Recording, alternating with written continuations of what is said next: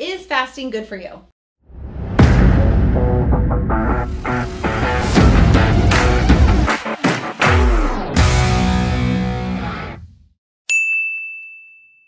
That's what I'm hearing a lot. It's a hot topic right now. It. And it there's lots of kinds of fasting. There's not just fasting one size fits all. Right. Absolutely. And I know you have a difference of opinion, so mm-hmm. it'll be good to hear both of our versions. Yep. And a lot of this is just the way it's affected me. So mm-hmm. again, everybody's individual. Mm-hmm. And also, even the individuality, if certain conditions exist, maybe if it's cancer or diabetes or whatever it is, maybe p- certain people are going to be better with fasting than people that don't really have a need for it. Absolutely. And that's, you know, uh, I think the core of everything we've really talked about, Jen, is like what is good for the individual and what is best for the individual. So, in general, fasting can offer so many benefits for people. And and when we say fasting, there are some different types of fasting. So, maybe we should talk through that a little Yes. bit so everyone understands. So, right now, I think the hot one is intermittent fasting, right? Or time restricted feeding is really what it is. So It is. Like the 16-8 or the or the uh, I think some people will do even tw- like one meal a day. So they'll have they'll eat in like a 4-hour window. So it'll Yep. be like one big meal or maybe even two smaller meals but within a 4-hour window. And then you have prolonged fasting which is anything 24 hours and beyond. Right. Exactly. So, you know, some people with the intermittent fasting, you know, time restricted eating, they might not eat for 16 hours, eat inside of eight hours, right? Or again, push it to not eat for 20 hours, eat for only four hours. Um, you know, that can have some health benefits. And one of the things with intermittent fasting um, that I think is kind of at the core of it is the body can either be digesting food or detoxifying, right? And and healing. It can't do both at the same time. So when we give the body a little bit more time and space to do things, whether it be in the time restricted intermittent fasting type, we're going to talk more about it in the prolonged fasting because that's where the benefits really start to come in. But um but that is allowing the body to rest a little bit from a digestive perspective. Yeah, and I know for me, I have been highly interested in autophagy, and so going over 24 hours. So on Sunday, I end my Sunday's usually a day I let loose and enjoy a little bit more. And Monday, I don't eat, and then Tuesday, I'll eat again. Sometimes I will go. Um, 72 hours. I really haven't gone beyond 72 hours, but the magic thing is autophagy kicks in after 24 hours. And then that's the process where your cells, your your damaged cells are strengthening or you're flushing them out. Probably not describing it perfectly, and then strengthening your cells in, in between so it can fight off cancer.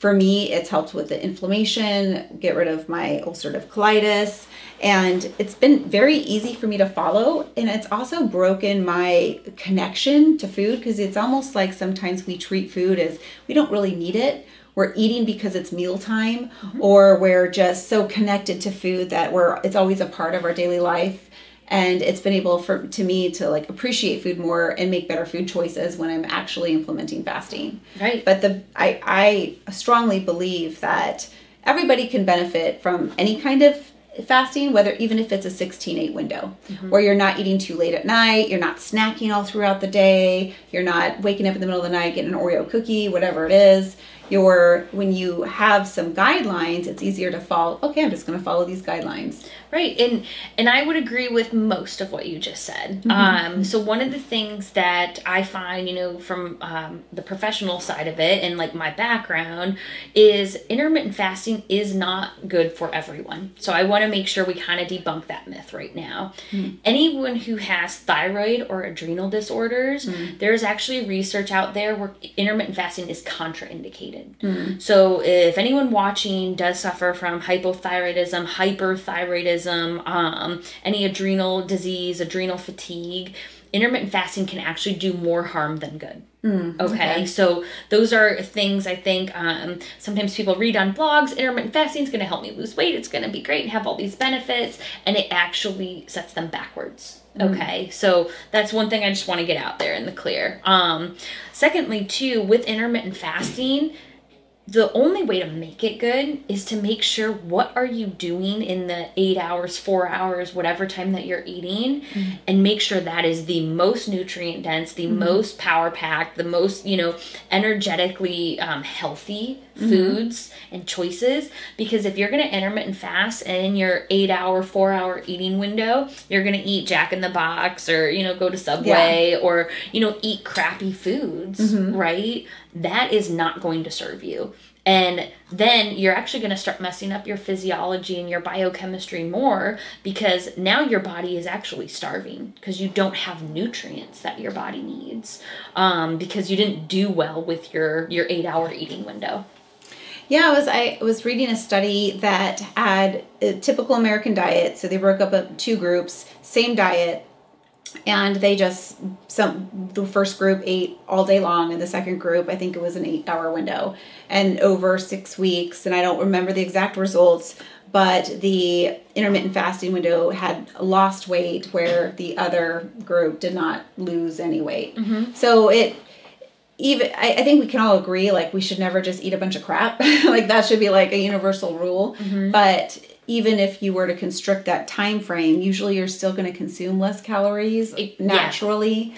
But being hyper aware of okay, intermittent fasting isn't just the one solution. It's just something you can incorporate on top of a healthy diet. Absolutely. And that, you know, it, like you said, the foundation is the quality, the healthy mm-hmm. food. Like if you're eating crap, be it in four hours, eight hours, all day long, it's still crap. It's still crap. You're gonna still feel like crap, right? So if you can build in the healthy foundation essentials, mm-hmm. keep it at a high quality diet, intermittent fasting for some people, mm-hmm. again, can be very beneficial. Um, but you know, again, if there's hormone trouble, things with adrenals, thyroid, even things like PCOS and some um, more female hormone production systems, intermittent mm-hmm. Fasting can be contraindicated. I have definitely heard that with like women that are trying to get pregnant. Yes. Probably not a, be- a good idea to do fasting. Right. And and you know that's where I get I always get really weary of like blanket statements, right? Oh, because oh, yeah. things are not good for everyone. And that's, you know, people out there will hear intermittent fasting, they'll read a blog on it and they'll think that's great for me and they want to jump on that bandwagon, but they could be doing more harm than good. So anyone out there who is looking to make big shifts in dietary changes, you know, consulting with a professional, making sure that it is the right choice for them is yeah. so important. Oh, I, I totally agree with that. And for the people that don't have like some of the issues you have and that it could work for, um, one of the most inspiring stories I heard, uh, Jason Fung, he's a doctor out in Canada that treats diabetes, di- um, patients with diabetes and he describes insulin as you can't keep packing in insulin. It's like packing a suitcase and you keep packing it and packing it, and your liver can't take any more insulin and it starts to reject it. And that's you. That's how my grandma died. Both of my grandmas actually, because they didn't take care of themselves. So I, um, he would he had a patient that was two weeks away from having his foot amputated from his diabetes. He instead of insulin, Jason had um, put him on a very strict diet. I think the first fast was two weeks of water only and then he cycled in carnivore and, the, and keto maybe and then more fasting. And in two months he had no he had no symptoms of diabetes whatsoever. So and uh, dom D'Agostino is another guy i follow and he is uh, the, he's done his phd he's done deep dives on this. I think he's probably one of the leading experts in fasting where he believes fasting can help cancer patients either mm-hmm. go into remission or and also make chemotherapy more doable where like mm-hmm. they'll do chemotherapy and the next day be up at work or uh, running running five miles instead of like throwing up all day right and for me i it's been first of all easy for me to follow it helps me cure the inflammation from my colitis mm-hmm. and it's um it give me more energy and broken my connect like almost like addiction to food because mm-hmm. i love food so much. I would think about it all the time. Now I don't even, sometimes I can just get that off my plate. I'm not even going to think about food. Right. And when I do get food, I appreciate it so much more. So I make better choices. Yeah, absolutely. And with that, it's so incredible how, in the longer term fasting, right, can mm-hmm. really have those benefits. Um, when when the body does have that time and space to not be busy with digesting food all the time mm-hmm. it can go in your immune system can go in and actually clean up all of your damaged cells so yeah. in the case of the guy doing the water fast with the diabetes and mm-hmm. having the foot need to be amputated i'm sure during that fasting time his immune system was able to go hey we have all of these damaged cells down here here. Like, let's clean them up. Yeah. Gave the liver a huge, you know, um, lift, right? Because it's not worried about digesting all this food and everything. So there are some really great benefits to doing fast from 24 to 72 hours um, and beyond.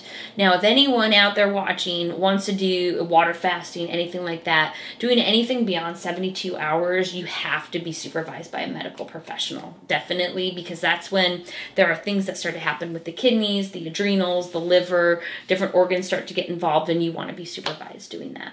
And I know autophagy really the the biggest benefits are between that 24 hour and 72 hours. Yes. And they start to get a lot less Yes. after 72 hours. So that's why I really haven't felt too compelled to go past 72 hours. Yeah. Uh, but and and really doing that on you know a monthly quarterly basis can offer so many health benefits um, even though in my practice i primarily focus on helping people alleviate anxiety and depression and chronic stress i also um, am a cleansing and detoxification specialist. So with um, with the autophagy you know that 24 to 72 hour window is so beautiful for the healing benefits you have in the body. But beyond that again without working in a, in a medical setting with a medical professional um, you could do more harm than good. So as a general rule sticking in that 24 to 72 hour range is very healthy. And even what you do before you start the fast and how you come out of the fast Oh, is important too. Yes, and I will say that I have broken 72 hour fast the complete wrong way of just I'm so I love food so much, and um, pumpkin puree, like an organic pumpkin puree, was like I found the softest thing to put in my stomach after a 72 hour fast. hmm That usually like any pureed vegetable soups, um, depending on the time of year, yeah, bone broth, maybe even some light vegetable juices. You Mm. know, something that's very nourishing, healthy, clean, Mm-hmm. Yeah. right? Um, but also easy to digest. Yeah. Very important because if you want to come out of a seventy-two hour fast and eat, you know, a whole bowl of pad thai or you know a big you don't wanna do it, I will tell you. it's, it's not good. Your body will not like you, right? No. Um, and even doing some things to prep before the cleanse um, and before your fast can be super helpful. So again, that's where you know if someone doesn't have time to go out and do a bunch of research on all of this, you know, working with professionals to make sure they can do it in a safe way, especially for their first or second ones, right? And then once you get the process down, you know, fasting can be something I actually recommend people incorporate at least quarterly, uh, a seventy-two hour water fast because of all the benefits. Yeah, autophagy it literally means your body eating itself. Yeah. It's eating itself of all the bad stuff. It is. I funny because uh, two weeks ago I started to feel sick. I don't get sick very often, and I was mad at myself for being sick. And I was like, should I fast? Should I e feed it? I fasted, and by the next day I was feeling better already.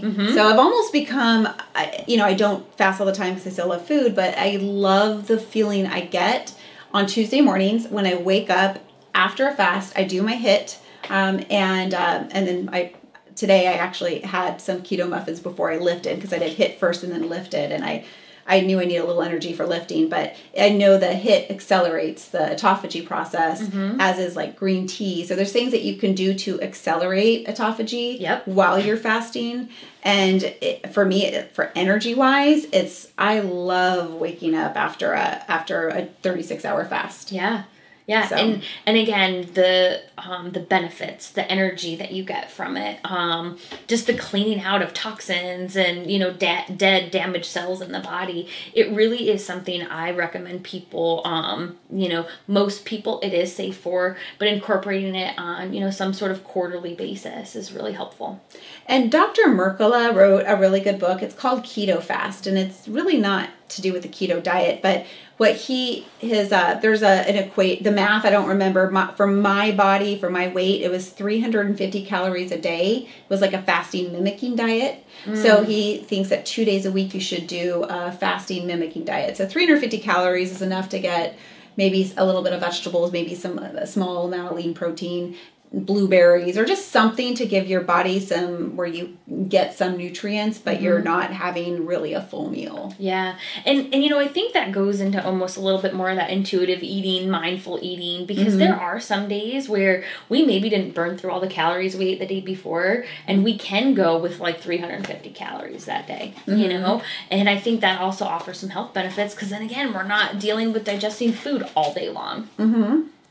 You're not constantly spiking your insulin, which is just not good for you. So if you're snacking all day, and that used to be me, just nonstop eating, my insulin spikes, spikes, spikes, and I know that's not good for you either. Right, it's not, um, and that's where we get you know a lot of disease processes can come into. Um, anytime you're messing with blood sugar, Yeah. you know moods can be really affected too. Oh yeah, they say mm-hmm. that even the littlest bit of inflammation affects your prefrontal cortex, which affects your emotions, even your decision-making process. So if mm-hmm. you kind of ate bad that day or the day before and you come home and you're like, "Should I go to the gym or should I sit on the couch and watch my favorite show?"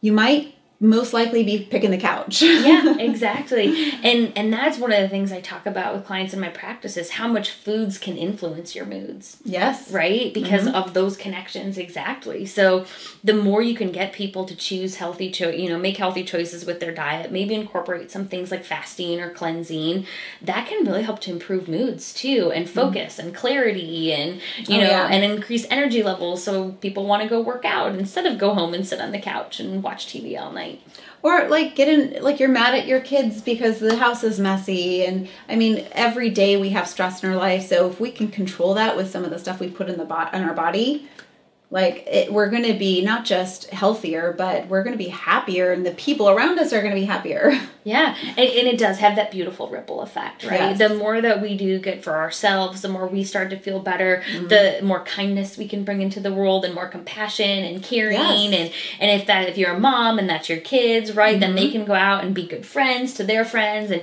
you know it, it rolls out throughout the community. And I I do believe at the end of the day, the world needs more kindness and compassion, and it does start with all of Absolutely. us. and it feels good. There's actually a, a Tim Ferriss, I don't want to get too off topic, a Tim Ferriss um, exercise that when you're in bad mood, we all scientifically know that when we're feeling gratitude, we it's it's impossible to be mad or angry. So y if you see a random person, maybe at the grocery store, at the stoplight, and you just wish really good wishes upon that person, you automatically get into a happier mode. Yes. So Yeah, and maybe that's topic for another uh, Yes. future thing because the power of gratitude is really fascinating and it has so many healing benefits. So but it's definitely inspiring. I can say my husband, uh, since I started my journey, he's lost 50 pounds this year. wow. So I don't know if he would have done that on his own. I don't think so, but we're doing it together and you know, mm-hmm. people around us. It's being able to just help them. It's it's fun. It is. Yeah, and I mean, I love what I do, and helping people is what it's all about. And some people out there don't have people to do it, you know, with. And if people though are truly ready, you know, that's when it's time. Like if you have that internal burning desire to start making healthy changes and really want to do more, be more, you know, live your life, go get your purpose in life, changing the diet can be a huge factor in it. Absolutely. Yeah. Well, we went through a lot of things of fasting, and I think Okay. it all comes down again to finding the finding the the practice that's going to be right for you, Yes. and just being very aware, self aware of that mind body connection. So if you fast and you feel like you're going to die or try to kill somebody, maybe don't fast. yes might not be for you right Yeah. um and again i think we're all individual we all have different needs fasting can have a lot of benefits for the right person you know depending on what your health goals are where you're at in your life what health conditions you might have might not be the best for you. Um or maybe it's just not a daily thing. Maybe you you know build it in a little bit in in some places during the week. But ultimately figuring out what works best for you is what it's all about. Um you know be it keto or fasting or any of the things that we've been talking about Yeah, and like if you're gonna start something, don't go all in. Don't don't be like I've never fasted a day in my life. Let's do a 72 hour fast. yes Maybe start with time restricted feeding and go on from there. Absolutely, good point. Um, easing into things, Yes. uh, you know, be it dietary changes, fasting. The more slow, sustainable you can do it, probably the better results you're gonna get. Yeah. Awesome. Well, I hope you learned a little bit about fasting and if it's right for you, if you want to give it a try. Um, you can also reach out to Susan and really determine the right plan for you. Yeah. Thanks, Jen. Thanks, Susan.